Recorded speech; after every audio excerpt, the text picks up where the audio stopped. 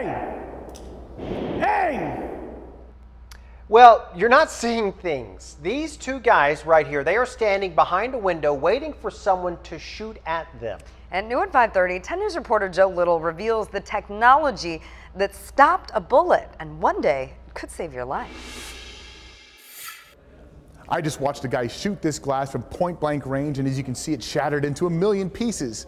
But then I saw him shoot another piece of glass protected by this thin piece of plastic, and you will not believe the difference.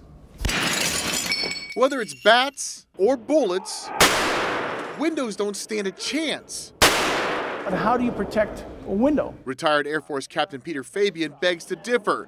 He's the CEO for Advanced Coatings Engineering.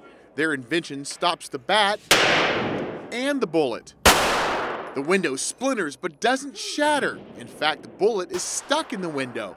The secret is a thin laminate made primarily out of polyester. The same thing that cheap shirts are made out of plastic bags, bottles of water. Fabian says it can be added to any window. It's much cheaper and lighter than bulletproof glass. They safely demonstrated the laminate at Poway Weapons and Gear. It's hard for people to conceive. It's hard for people to appreciate. Fabian says the military and foreign dignitaries have used it for years. Now it's being used at home. Where do we go? We go shopping malls, theaters, cafes, and we're under attack. Fabian's company is now outfitting schools, hotels, offices.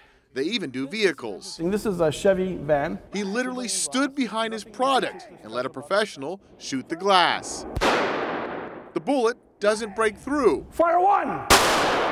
The glass cracks but doesn't shatter, something Fabian sadly sees us needing. The war zone has come home. Joe Little, 10 News. Fabian's company outfitted a North County daycare center with that laminate today. Hmm. New